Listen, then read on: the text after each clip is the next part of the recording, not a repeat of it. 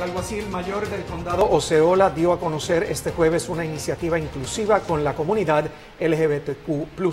Nuestro compañero Víctor Berríos estuvo allí y nos trae los detalles sobre este plan que busca cerrar la brecha entre comunidades frecuentemente marginadas.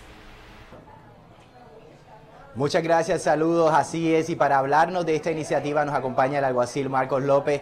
Marcos, gracias por estar con nosotros. Háblanos sobre este lugar seguro para la comunidad LGBTQ. Esta iniciativa es una iniciativa que están haciendo nacional y la comunidad LGBT se comunicó con nuestra agencia y querían que nosotros participemos. Eh, la gente que trabaja en la unidad de Community Outreach, ellos, ellos llamaron al L House ellos rápidamente dijeron, tú sabes qué, queremos ser parte de esta iniciativa. Ellos, quieren que todo el mundo se sienta seguro aquí, no importa de dónde eres.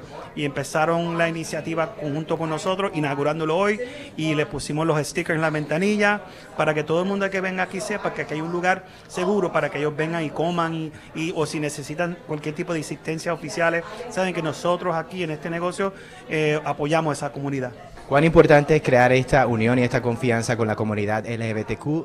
Es muy importante porque muchas veces en los años pasados eh, el departamento de la policía o la, el, perdona la comunidad LGBT se sentía sentía discriminada y eso no es parte de la función del sheriff's office. Nosotros estamos aquí para proteger y no discriminar contra nadie. nosotros queremos que todo el mundo se sienta seguro aquí y que nosotros siempre vamos a estar ahí juntos como uno para proveerle esa seguridad a todo el mundo.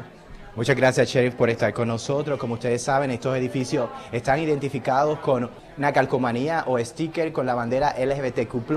Así que si usted necesita ayuda, puede ingresar a uno de estos edificios y se llamará rápidamente la policía si es que usted está en medio de una acción criminal. Esto es lo que tenemos todo desde el condado Osceola. Ahora continuamos con más en el estudio.